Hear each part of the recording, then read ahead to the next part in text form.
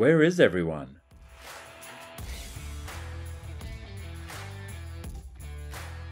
Everything has gone remote, and we are now stuck trying to run our businesses remotely. We are back from the pandemic, but most people don't want to be back in the office. And so the paradigm of working has changed. And I'm going to help you to face this new reality from someone who was running remote team meetings well before the pandemic happened. I'm going to share with you our best tips to use Google Workspace to run high impact meetings for you and your team. The world is in a bit of a state of flux at the moment. Companies are trying to work out how to manage their team, and employees have basically been unplugged from the matrix of office work and now want to be able to work hybrid and work remotely. Now, there's been many documented cases of employees basically walking off the job if their employers are not giving them remote and flexible working arrangements. And even though the large businesses like Apple and Google are trying to bring people back into the office, well, I think the employees have got it. Remote work is here to stay, and flexible hybrid work is going to become a mainstay well, stay a mainstay of our life moving forward. Now, this sounds like a great idea for the business, but how can we make sure that we are actually productive? Well, here's some ways that we can use Google's technology that you're using inside your business to both prepare for, run great meetings, and also keep your team engaged when they're remotely. No one likes to see what we during the pandemic called zombies, which is people just sitting on a meeting or noddies, as I call them, nodding along, pretending to be listening. We want to try as much as possible to make our meetings engaging to actually help to keep our team connected, but keep that collaboration up and keep our team engaged. Okay, so let's go through some meeting basics. And if you've been in a corporate, everyone's been in a meeting where they've yawned before. Well, here's some basics to keep your meetings nice and sharp and to uh, hopefully avoid the yawn fest. Now, as much as possible, you want to only invite the people who actually need to be in the meeting. That one is a given.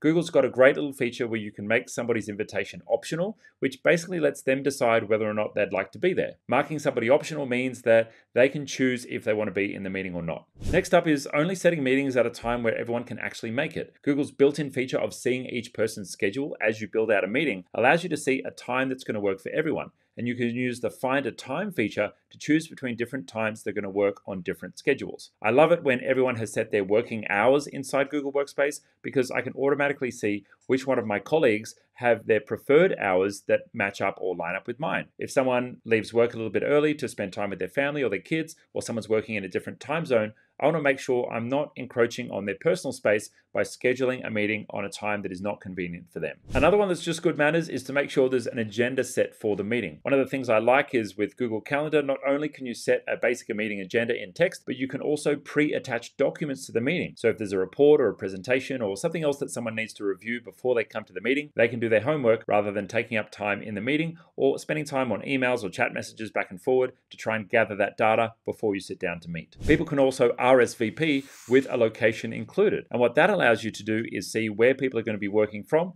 just in case that context is important. You don't want to have to rush into the office to have an in person meeting if the other person you're meeting with isn't even going to be in that day. So that makes it helpful for you to know where you can take a meeting from and where it's important for you to work from. Another good manners tip is to rotate the person inside the meeting who's making notes. Now, if you do decide to make notes in something like a Google Doc, everybody will get access to that document after the meeting if it's been shared inside the meeting call. And that's a good way to start to mark down not only the notes from the meeting, but you can also set action items in there as well. Now, if you you've got a medium size or larger team, you're probably going to be using something else for your task management like Asana or Monday or Trello. But if you're absolutely starting with the basics, or maybe you're working with a customer who's outside your business, using a Google Doc or a Google spreadsheet and the People Chips feature may be a great way of delegating tasks to those who are in the meeting and agreed on follow up actions. So let's talk more about preparing for your meeting. One of my favorite features for collaboration inside Google Workspace is using Spaces, which is effectively a feature of Google Chat. Now, Spaces allow you to have real time communication with your colleagues, and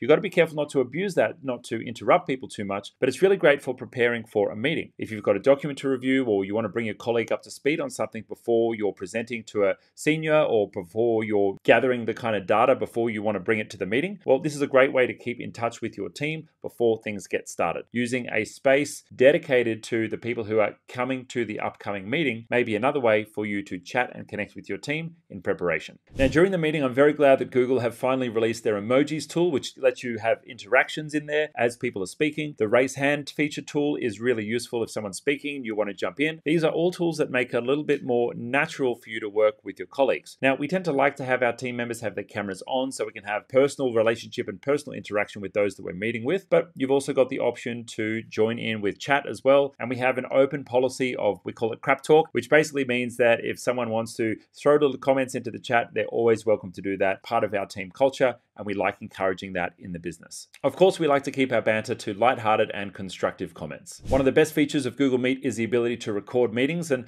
we've got a policy where we pretty much record every single internal meeting. What that means is we always have a transcription and we always have the recording automatically saved into Google Drive, which makes it really easy to reference if somebody said something and it wasn't quite caught on the notes, or someone remembered something from a year ago and they need to reference that, that all of our meetings are recorded and we can always go back to them and reference that information. I also love the ability to use use the recording feature to create training. Anytime we have a new team member who's being onboarded, we will actually switch on a record button for the meeting. And that means that if they're being shown something for the first time and they want to re review that or re watch it, just so they can make sure that it's really sunk in, they can go straight back to the recording. And of course, all the recordings are automatically linked to the Google Calendar event that you've set for the meeting time. Now, if you've got a large team or a presentation to a large audience, you may want to make use of some of the additional features for interaction with your crowd. You can use a poll and, you know, gather feedback or get answers from your customers or from anyone else inside the business. You may also choose to use the Q&A feature where people can submit questions and democratically upvote or downvote those questions so you know to answer the right one.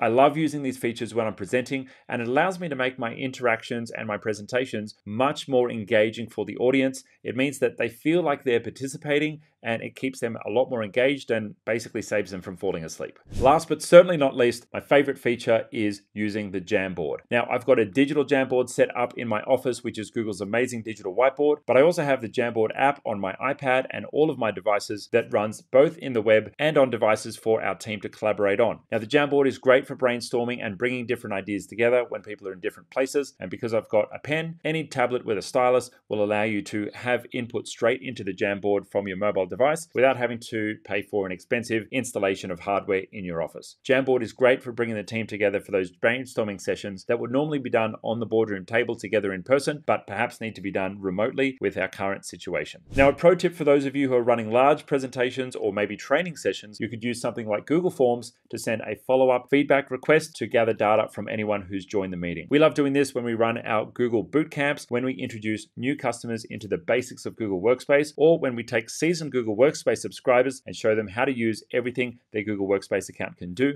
that they may not have known about. I hope you've enjoyed this summary and I hope this is helpful for you and your team running better meetings inside your company. Let me know down in the comments what is your favorite feature out of all of these that I've shared with you today. And if you've got any tips to share with the community, go ahead and share those too. I'll see you in the next video. If you like this content, please hit subscribe and hit the bell notification so you can be notified when we go live or drop new content on the channel. Now, if you'd like to connect with us, hit us up on social media or join our free community group. All the links to that are right below this video. If you'd like to learn more about Google Workspace and the technology ecosystem, you can join our free Genius Academy by transferring your billing across to IT Genius. Or you can join a Workspace Basics Bootcamp. Now, if you're a business owner and you're interested in an audit on your technology stack or your workspace account, or you're looking to do a project in the tech world, well, you can take advantage of our free consultation. And if you need help right now, then consider joining Concierge or taking up a quick fix with our team for professional support for your tech stack.